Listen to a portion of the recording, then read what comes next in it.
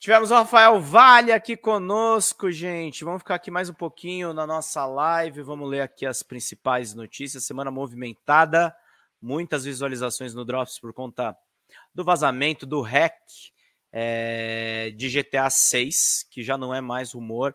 Vamos então para as notícias aqui. Vão curtindo, vão compartilhando, vão curtindo, vão compartilhando, vão curtindo, vão compartilhando. GTA 6 teve o seu maior vazamento na internet. O futuro GTA 6 teve o seu maior vazamento da história neste final de semana. Imagens da gameplay vazaram na manhã deste domingo, dia 18 de setembro de 2022. Os materiais foram divulgados inicialmente no site GTA Forums e corroboram para antigos relatos a respeito do jogo da Rockstar Games.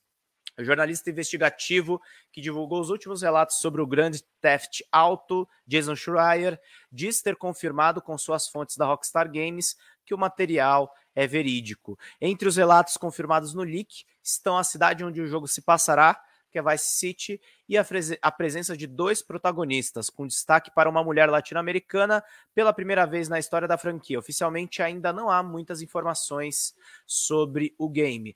Até o momento, apenas o desenvolvimento do jogo foi confirmado e segue sem previsão de lançamento ou plataformas confirmadas. O que se especula é que ele talvez vai chegar entre 2023 e 2024. Tem uma janela de lançamento aí. Esse vazamento dá conta de mais de 90 vídeos e imagens de gameplay retratando uma versão ainda em desenvolvimento, supostamente de julho de 2021, com vários modelos de personagens simplificados e texturas inacabadas.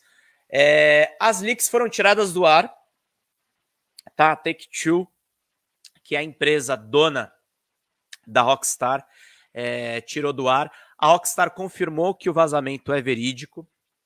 E ele mostrava, na verdade, cenas de tiro. É, vai ter uma mudança aí na, na ação. Os personagens vão poder coagir os NPCs e os inimigos é, para extorquí-los, para pegar algumas coisas. Tem uma evolução da própria inteligência artificial. Eu vi um mecanismo ali é, de se esconder muito parecido com Gears of War. É, mas não dá para falar muito mais do que isso. É uma versão inacabada, os gráficos são bem simples, é, parecem inferiores, inclusive, ao próprio GTA V, mas foi tirado do ar esse material e seria uma irresponsabilidade de, aqui eu mostrar para vocês é, material que foi fruto de uma cópia é, roubada. A Rockstar se manifestou oficialmente a respeito disso, é, lamentando o episódio, mas dizendo que não vai ter mudança na data de lançamento do próprio GTA é, 6. Então é muito importante para vocês saberem que, apesar do mega vazamento, apesar da grande repercussão e da coisa fugindo do marketing da própria Rockstar e da Take-Two, o lançamento continua confirmado.